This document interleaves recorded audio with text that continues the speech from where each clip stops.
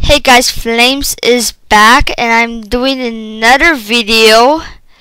And if you hear a little bit of, of background noise, oh, this is my dad's working. Okay. okay, today I'm to show you how to. Sorry, my dad is right here laughing hard.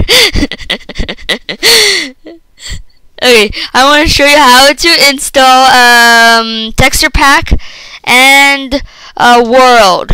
First, you need to go to app, data, app. I keep putting a five there.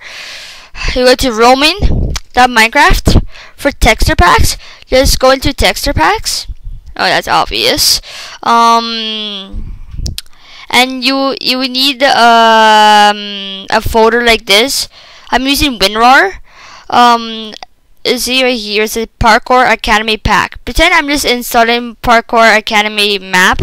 Need the texture pack. Here is the texture pack. It's that easy. Go to app, app data, roaming, Minecraft, texture packs, and just drag it in. For the saves file, it's the same thing. You go in here, put it in here, and it should work. Like watch. Run Again.